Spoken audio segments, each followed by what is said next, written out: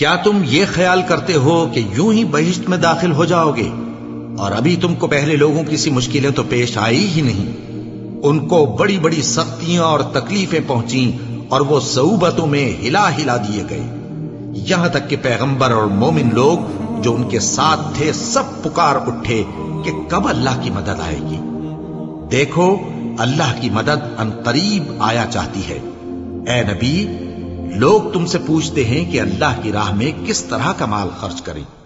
कह दो कि जो चाहो खर्च करो, लेकिन जो माल खर्च करना चाहो, वो दर्जा बदर्जा अहले इस्तेकाक यानी माँ बाप को और करीब के रिश्तेदारों को और यतीमों को और मोहताजों को और मुसाफिरों को सबको दो।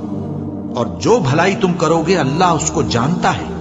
मुसलमानों, तुम पर अल्लाह के रस्ते में लड़ना फ़र्ज़ कर दिया गया है। और वो तुम्हें नागवार तो होगा, मगर अजब नहीं कि एक चीज़ तुमको बुरी लगे और वो तुम्हारे हक में भली हो, और अजब नहीं कि एक चीज़ तुमको भली लगे और वो तुम्हारे लिए मुजिर हो, और इन बातों को अल्लाह ही बेहतर जानता है और तुम नहीं जानते। ए पैगंबर, लोग तुमसे इज़्ज़त वाले महीनों में लड़ाई करने के बारे में दरियाफ्त करते हैं। कह दो कि उनमें लड़ना बड़ा गुना है, और अल्लाह की राह से रोकना और उससे कुफ्र करना और मस्जिद हराम यानी खाना काबा में जाने से बंद करना और अहले मस्जिद को उसमें से निकाल देना जो ये कुफ्फार करते हैं, अल्लाह के नज़दीक इससे भी ज़्यादा गुना है। और फितना अंगेजी खूरेजी से भी बढ़कर है। और ये लोग हमेशा तुमसे लड़ते रहेंगे। यहाँ तक कि अगर मकदूर रखें तो तुमको तुम्हारे दीन से फेर दे। और जो कोई तुम में से अपने दीन से फिर कर काफिर हो जाएगा और काफिर ही मरेगा तो ऐसे लोगों के अमाल दुनिया और आखिरत दोनों में बर्बाद हो जाएँगे। और यही लोग दो में जाने वाले हैं, जिसमें हमेशा रहेंगे। जो लोग ईमान लाए और अल्लाह के लिए वतन छोड़ गए और कुफ्फार से जंग करते रहे, वही अल्लाह की रहमत के उम्मीदवार हैं और अल्लाह बख्शने वाला है, रहमत करने वाला है। ए पैगंबर, लोग तुमसे शराब और जुए का हुक्म दरियाफ्त करते हैं। कह दो कि उनमें गुनाह बड़े हैं और लोगों के लिए कुछ फ़ायदे भी हैं।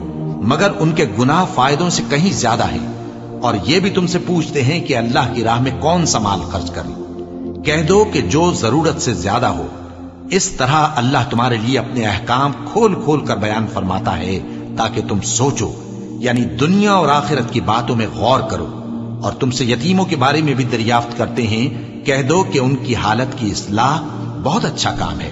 और अगर तुम उनसे मिलजुल कर रहना, यानी खर्च इकट्ठा रखना चाहो तो वो तुम्हारे भाई हैं और अल्लाह खूब जानता है कि खराबी करने वाला कौन है और इसलाह करने वाला कौन।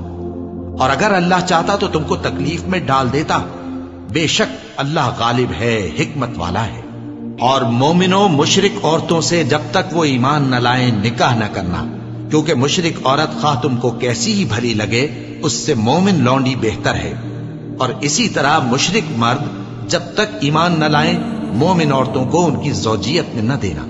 क्योंकि मुशरक मर्द से खा वो तुमको कैसा ही भला लगे, मोमिन गुलाम बेहतर है। ये मुशरक लोगों को दोजख की तरफ़ बुलाती हैं और अल्लाह अपनी मेहरबानी से बहिश्त और बख्शिश की तरफ़ बुलाता है और अपने हुक्म लोगों से खोल खोल कर बयान करता है ताकि नसीहत हासिल करें। और तुमसे हैज़ के बारे में दरियाफ्त करते हैं। कह दो, वो तो नजासत है। सो अयाम हैज़ में औरतों से किनारा कश रहो और जब तक वो पाक न हो जाएँ, उनसे मुकारबत न करो। हाँ जब वो पाक हो जाएँ तो जिस तरीक से अल्लाह ने तुम्हें इर्शाद फरमाया है, उनके पास जाओ। कुछ शक नहीं कि अल्लाह तौबा करने वालों और पाक साफ़ रहने वालों को दोस्त रखता है।